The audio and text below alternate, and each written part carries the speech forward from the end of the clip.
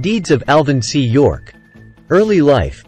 Alvin C. York was born on December 13, 1887, in Pall Mall, Tennessee, and grew up in a rural and impoverished setting.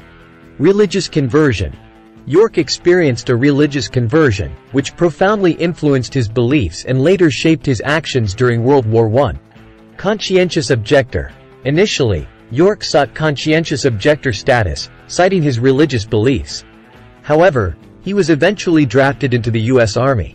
Training and deployment. Alvin York underwent training and was deployed to the Western Front in France as a part of the 82nd Division. Battle of the Meuse-Argonne, on October 8, 1918, during the Battle of the Meuse-Argonne, York's actions would become legendary. Capture of machine gun nest. York's unit was tasked with capturing a German machine gun nest. Despite heavy fire, he led a small group in a successful attack, capturing 132 German soldiers. Single-handed action. York's most remarkable feat was single-handedly taking out a machine gun nest, killing several enemy soldiers with well-aimed shots. Leadership under fire. York's leadership under fire was crucial in neutralizing the enemy threat and enabling his unit to advance. Prisoners and surrender. York and his small group of soldiers escorted the captured German soldiers back to the American lines. He received the German officer's surrender. Medal of Honor. For his extraordinary bravery, Alvin C. York was awarded the Medal of Honor the United States' highest military decoration. Legends and Folklore York's deeds became the stuff of legends and folklore, celebrated not only for their military significance but also for embodying the American spirit. Impact on the war York's actions had a significant impact on the Battle of the Meuse-Argonne and contributed to the eventual Allied victory in World War I. Post-war recognition After the war, York returned to a hero's welcome and received numerous accolades, including the Medal of Honor, the Distinguished Service Cross, and the French Croix de Guerre. Life after the war. York struggled with the post-war transition but eventually became an advocate for education and improvements in his home region. Founding of Alvin C. York Institute. York used his newfound fame to raise funds for educational purposes, leading to the establishment of the Alvin C. York Institute in Tennessee.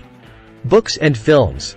York's story was documented in books and films, further cementing his place in American military history. Religious beliefs.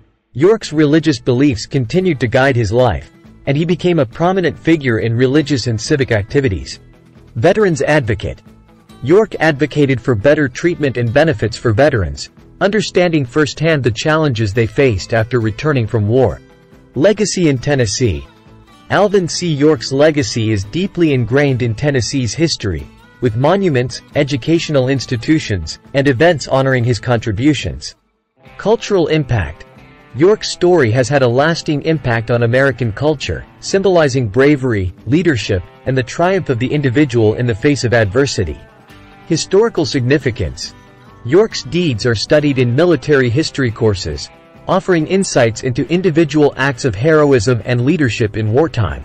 Preservation of legacy. Efforts are ongoing to preserve and promote Alvin C. York's legacy, ensuring that future generations remember his contributions. Depiction in film. Gary Cooper portrayed Alvin C. York in the 1941 film, Sergeant York, bringing his story to a broader audience.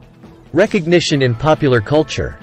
Alvin C. York's name is synonymous with heroism and sacrifice, making appearances in various forms of popular culture. National Hero Alvin C. York is remembered as a national hero whose deeds continue to inspire generations to come.